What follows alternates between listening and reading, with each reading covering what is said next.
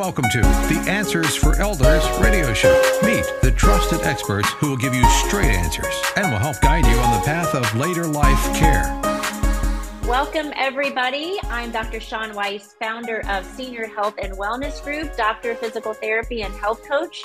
And this is Vitality Revolution, and I am so honored to be a part of the Vitality Revolution through the Answers for Elders Network. I've been one of their experts for about 13 years, and this is such an important event. I believe this is our second annual um, event to have Vitality Revolution.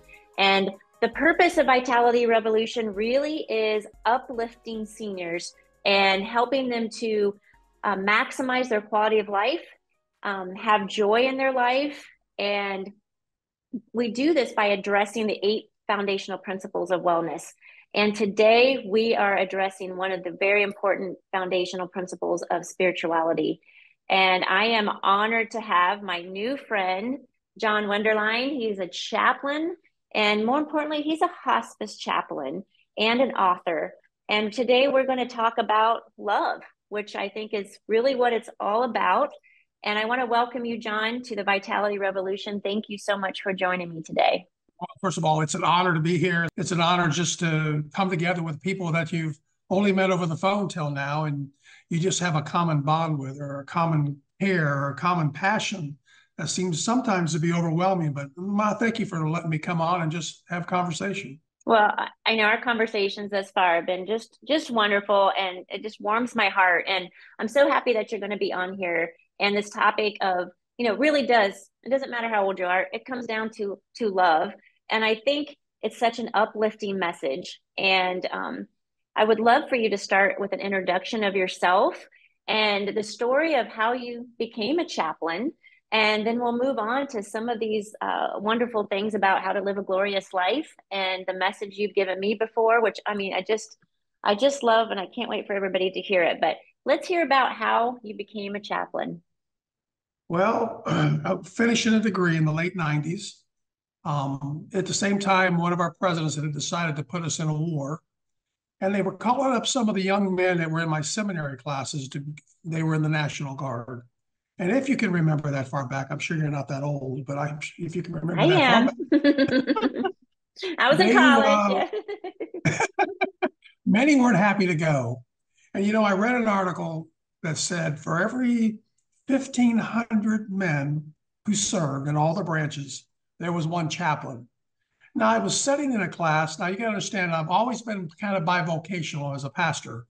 I have had a very good, very successful job, and it just started to overwhelm me. I was in my early 40s. I was going to be 41, if I remember. And I remember coming home and telling my wife, uh, honey, I think I'm going to join the military.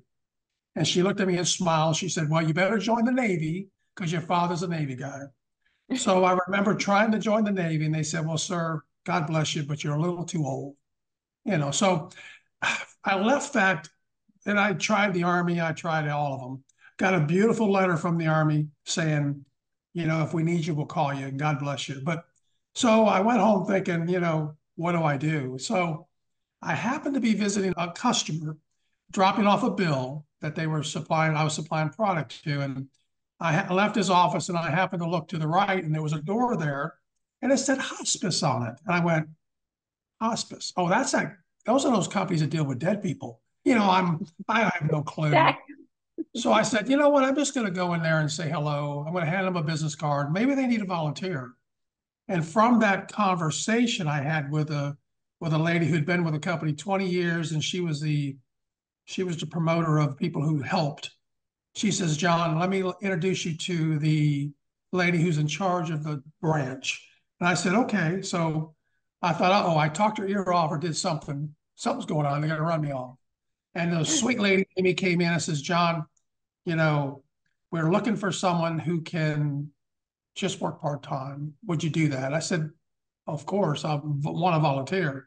And from that, it went into working full time. She called me back into our office about six months later after I'd been working for him just part time and said, John, you know, we really would like you to come and work full time.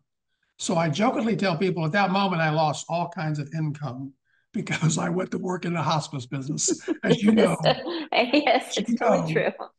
The medical industry has some false normers, you know, and but from that I um I've been doing it about nine, eight or nine years, and I wish I would have, you know, the Lord would have touched my heart in in, in when I was 40, but uh, I can't imagine doing anything else. You know, today I work, I still work doing what I do, and you know, I was in a room today with with family members, and it was just nothing like it praying. But that's kind of how I got started.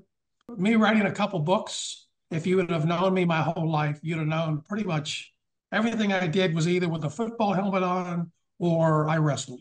So I had foot, I had wrestling coaches and football coaches that said, "John, you'll pass that grade." So for me, to, yeah, for me to undertake a couple books um, was just a great passion. I'm going to be working on my third book, and you know, only by the grace of God. That's what I tell people. Well, it's immediately evident that that you have a gift, and you have a gift for putting people at ease and helping people. And you know, as I look back on the 26 years that I have spent so far in in taking care of older adults, um, you know, well older adults or people who have multiple um, chronic illnesses, and there's a lot of of um, of parallels in terms of no matter where you are, there's gonna there seems to be a struggle. And what I find as we uh, take care of older adults, um, and as they get towards end of life stages, again, there's conflict, there's fear. Um, they need to come to peace with things, and I feel that um, we see a lot of family strife in the industry that I'm in. And but i always feel that we you know our duty is to advocate.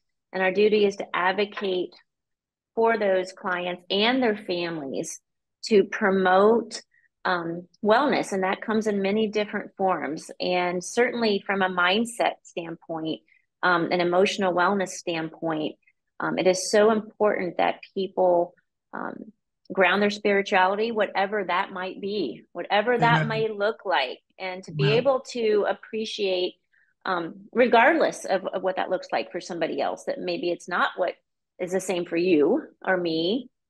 But, um, you know, I've had the, the great honor of being with a few people who have passed while they passed. And it's one of the greatest gifts, honestly. I look at that. And something that you're doing is just, it's, it's just so special. It takes special, very special people to do what you're doing.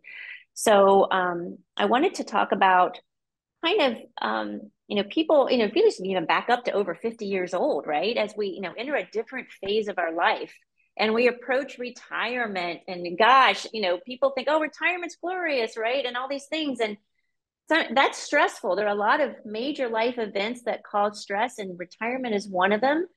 Uh, chronic diseases, um, life threatening illnesses.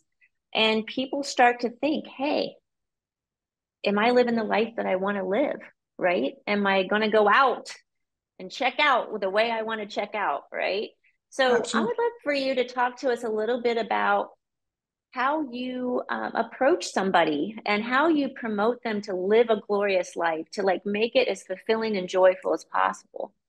Well, absolutely. Let me tell you, I can tell you a quick little story. You know, our nurses will go out and visit our patients. Um, and when they find that they're not able to give them anything but medical understandings of what's going on, they call the spiritual guy in. That's me.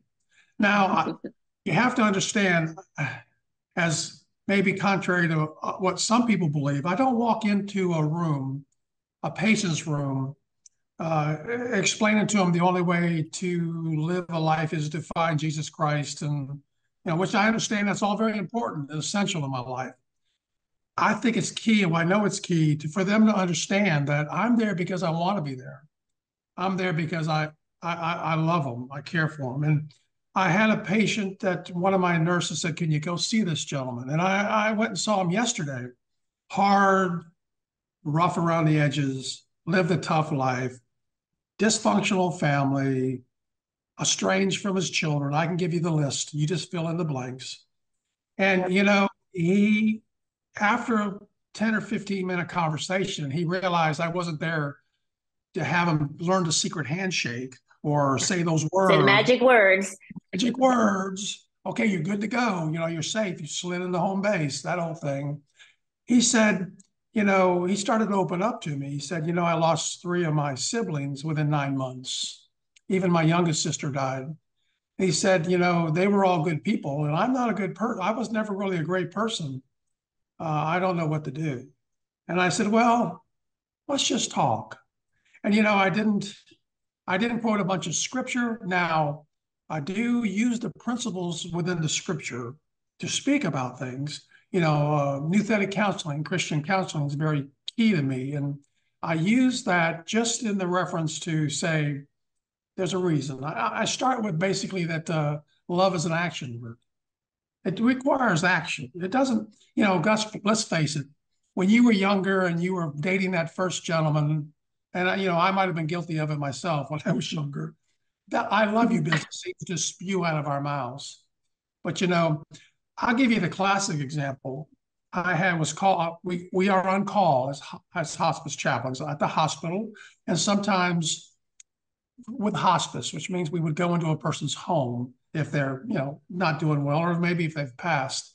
And I remember four or five years ago walking into being a call at two o'clock in the morning, driving to a house in a better part of town, and walking into the house, and the house was full of people. There must have been 20 people in this house. And they escorted me back to this room. And in this room was a sweet little lady propped up on a pillow, on pillows, and she was having she was struggling. And around her were all these people who adored her. She had great great grandchildren. And I walked over and I grabbed a chair and I sat next to her and I put my, I reached down and grabbed her hand, which was much smaller than mine. And I said, Sweet lady, you're not doing well.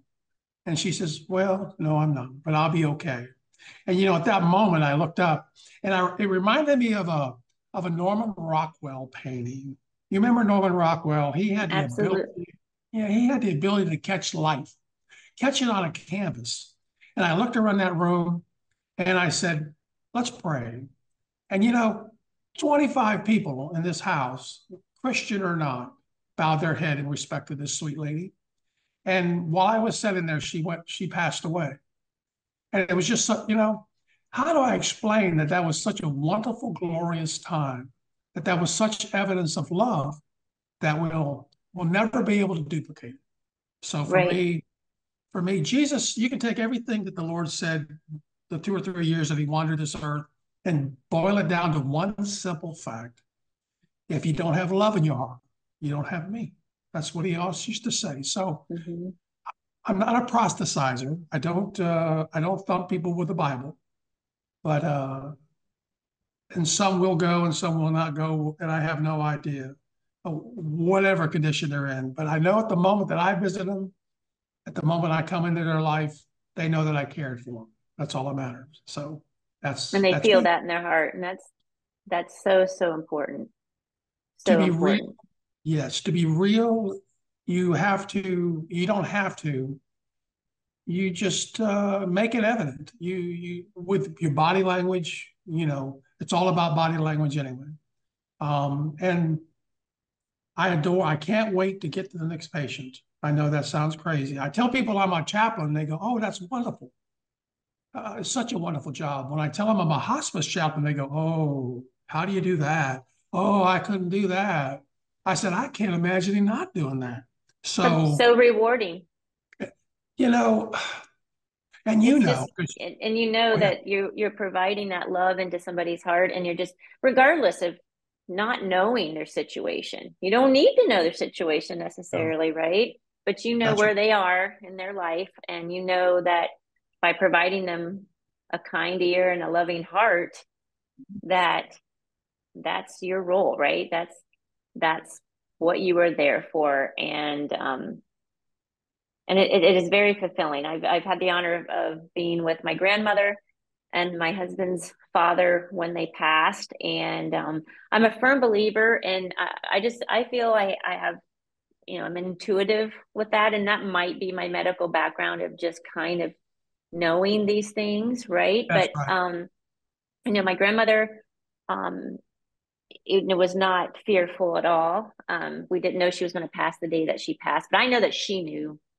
Um, she passed on the day that her oldest son passed, and um, we were all in the room, and his children were there, And we had just looked at the calendar and realized what day it was.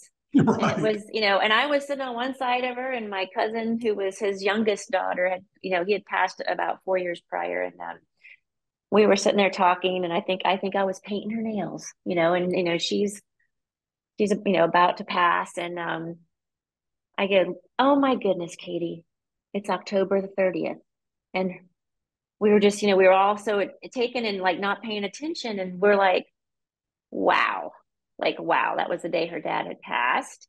And, um, you know, she got up and we said goodbyes and she left. And within probably five minutes, um, I noticed.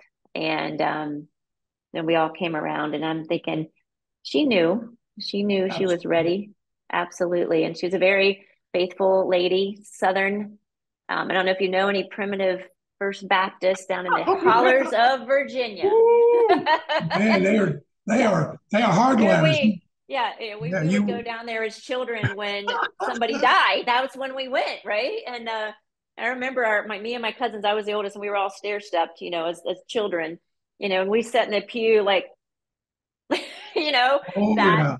Yeah. Oh wow, yes, yeah, and uh, yeah they are of, yeah. they are very very reserved in their in their faith oh, uh, oh, yes, very, know, very reserved they're reserved. within all things they did they were very reserved but uh, yeah I, i've known a few i'm a i'm a southern baptist minister by ordination so i know okay. that uh, i know that uh, uh, those primitive baptists are and we can learn from all we can learn from every i agree i totally agree with that um, um, you know, John, I feel like too, you know, and, and like I said, I'm I'm learning so much from you, even the more I talk to you. But um, I come across patients, and like I said, you know, the important thing is like, yeah, well, those with medical backgrounds, some, you know, we just you can't look at everybody through that lens, right? But when I see people who are just um, fearful and angry, and you just are trying so hard to just maximize their quality of life and just have them get joy and fulfillment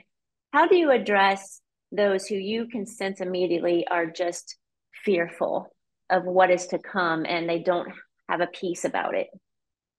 Well, I have to tell you, for me, it's tragic. It doesn't happen very often. You know, I would say this, and I say this with all sincere heart. The scripture tells us, I use that as my base, that there are no atheists. That within all of us we have a, some sort of some sort of understanding.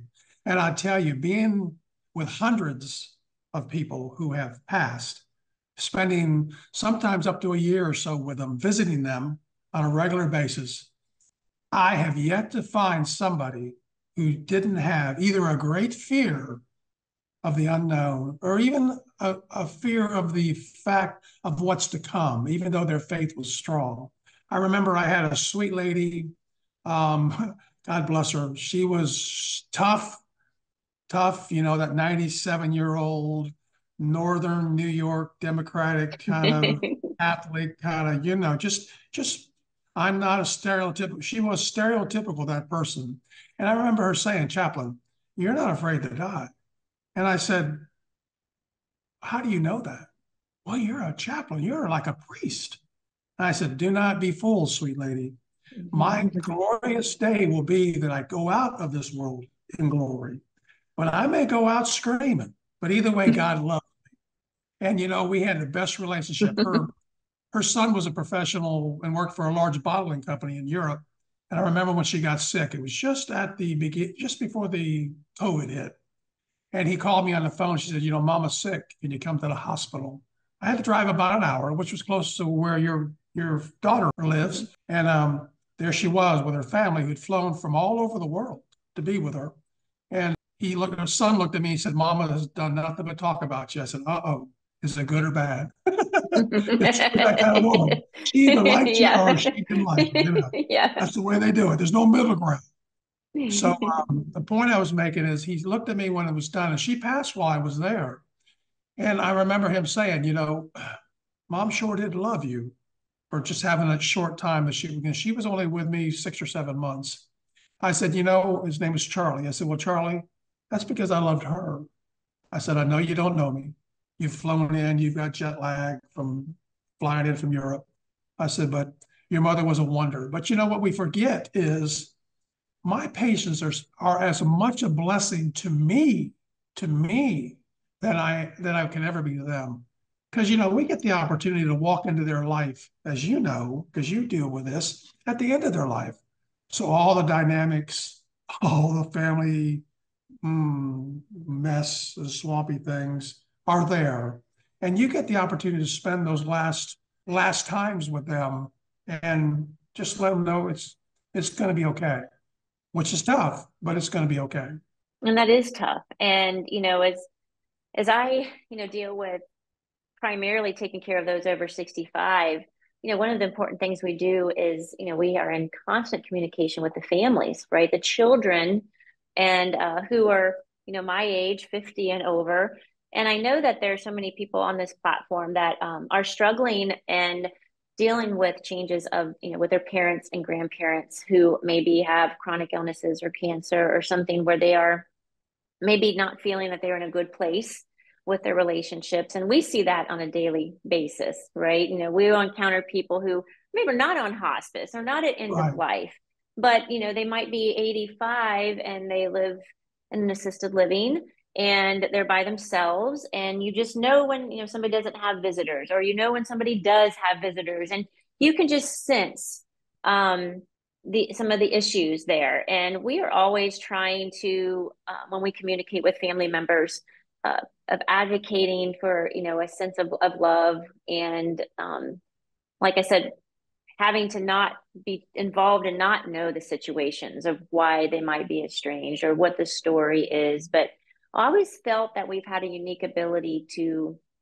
to bring people together which you know because we see and from our eyes something totally different right, right um, we're not the children and we you know we might we might see the good we might see the progress they're making we might see the hope that they have and we want to make sure that we are spreading that love um, with the family members who who we are communicating with about their conditions. So um, i do feel that you know there's probably people listening today who are wondering how to you know go about um, speaking with a father or mother or a grandparent who they just feel they have some unfinished business with. Do you ever come across that where you find yourself also chapeling to family members? Absolutely. Uh, you know, I say it a thousand times. I've said it a thousand times. There's no, there's no class on being a caregiver. There's no training. There's basic principles. There's basic things that you have to do, but every situation is different. So the toughest the toughest thing is uh, for some to say goodbye in the process of saying goodbye and there are on on always something unsaid or something undone i always make an attempt to try to bring families together so sometimes it's not successful You'd be surprised sometimes the the hurt is so bad or the viciousness or meanness is so so there's just no love that you can rekindle that you that many of my patients will die alone having three or four fa- 3 mm-hmm. or four mm-hmm. children and they'll die alone i can tell some tragic stories right across yeah. I have to be a little immune to all that but you know i have to i think to be honest with you if you if you if you present yourself in a caring loving way it rubs off it it fills the room, it fills people's lives, it fills situations with a starting point, a change. Because you know, when you're sincere, when you sincerely care, it's hard for someone to, to sincerely hate. To sincerely, I, I agree with that, and I feel Absolutely. that everybody deep down, yes, you know, uh, understands that and i feel like even though we might not know the situations and it's none of our business with the situations and you're not right. going to mend every situation but no. i always look at it as um, you know, even I tell my kids, even if I'm 54, and and I certainly now look back and reflect on things as I'm oh. getting older, and my kids are gone out of the house, and you're just thinking, you know, life is short, and you don't want regrets. And I kind of always you know phrase it that way it's like if there's something you want to say regardless of the situation regardless if you're not going to mend everything don't have regrets of i wish i would have or i wish i would have said this or i wish i would have had this conversation just to have peace right i i am absolutely in full agreement with you we have a like minds i i i usually will tell people when i meet them I don't want to hear woulda, coulda, shoulda out of your mouth. I don't want to hear it because I hear it. You know, Bill and I was going to go traveling.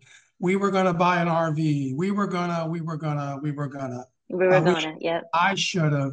You know what I want to hear from them is it's okay. And you know, reflection, as you're talking about at your age, comes to us all. You know, it's funny. There's an old song from the '60s. Uh, there's a time to live and a time to die. It's out of Ecclesiastes the third chapter, I think the third chapter. But it says, you know, there's, a, I think it's by the Byrds or somebody like that. But it yeah. says you should read those eight verses because in that it reflects the positive and the negative things that happen in our lives. There's a lot of time to love, a time to hate, time for war, a time for peace. And you know, at the end of somebody's life, there's a time for, if possible, reconciliation. But I never as much concerned myself with the family members and trying to resolve this craziness as I do right. the patient.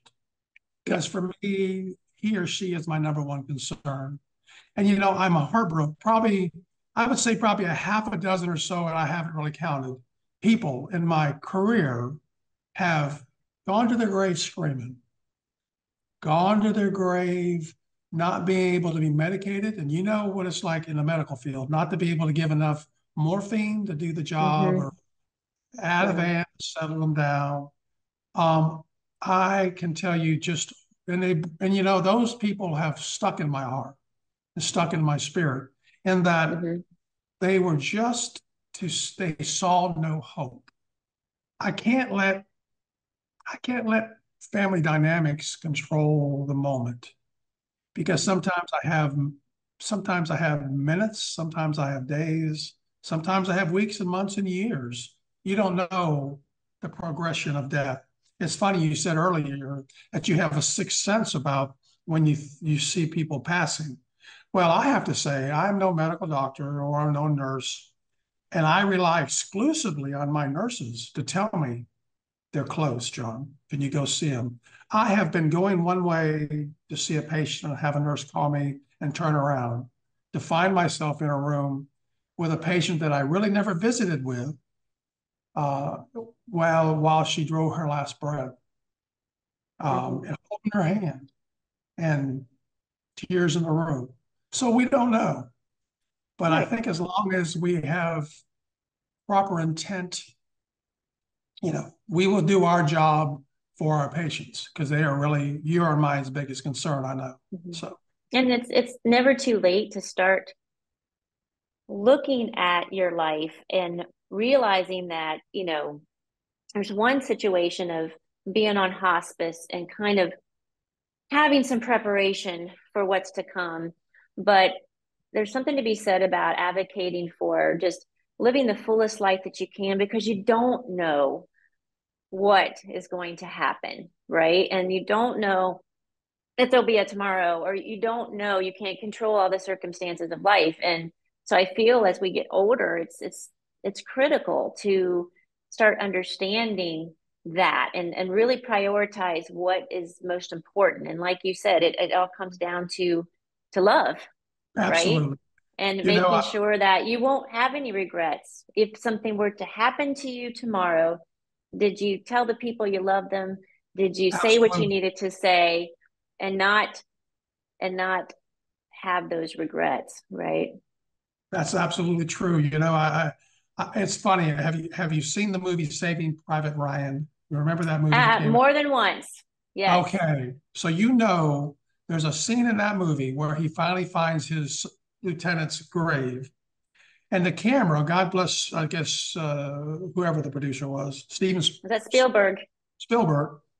There's a there's a picture of him looking at the, the man in the picture, looking at the the grave of his lieutenant and his wife standing there. And then in the background are three children, and they look to be maybe in their late teens. And he looks at his wife and he says, Was I a good man? Was I a good man? Was I a good mm-hmm. person? And his wife looks at him with somewhat of astonishment and says, You were a wonderful man. You were a wonderful husband, wonderful father. So for me, because I have a child and I have grandbabies, mm-hmm. if I was to go, if I was to leave this earth today, they would know, even though I'm gone, that Papa loved them.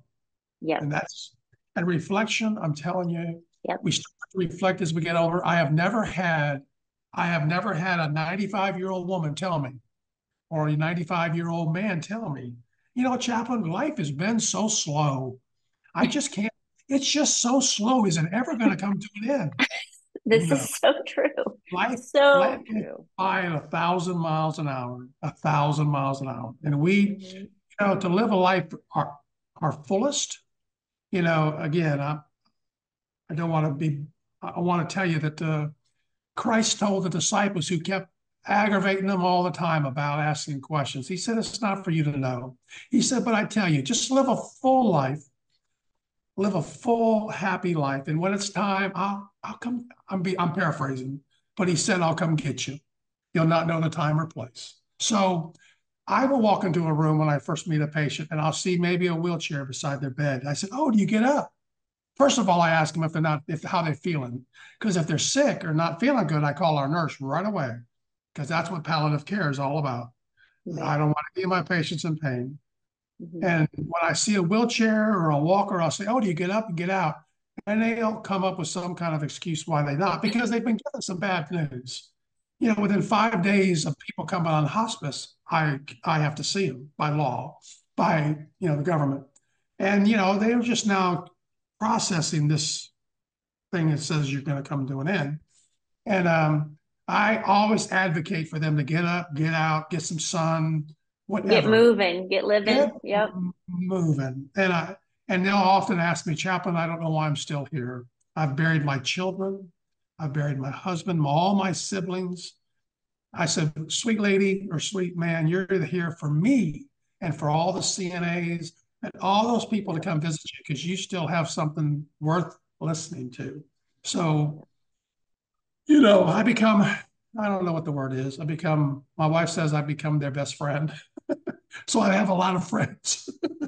well, and I think that that is, it's, it's just wonderful and it's just so heartwarming. And I've really appreciated our conversation. And like I said, just, just knowing to, to promote just getting out there and living life to its fullest and finding love and in all situations is, is really the key um, as we as we age and, and get older, regardless of the circumstances. So it has been wonderful talking to you, and I so appreciate you coming on Vitality Revolution to share your knowledge and your stories and the love that you have in your heart. And um, thank you so so much for joining us. I'm glad. Um, if they want to read read my books, you can go to remembermejw.com or you can go to Amazon and type my name in uh, it's not a book. It's not. They're not medical books. They're just they're just books filled with a lot of sweet stories. And we're going to um, put those links for your books, Chaplain, um, on the site so that people feel you know drawn to to go get those. They'll have an easy way to go search those out. And I appreciate you sending me those books as well. Oh, good. Thank you. Well, it was a blessing to be on your show. And again, call on me anytime.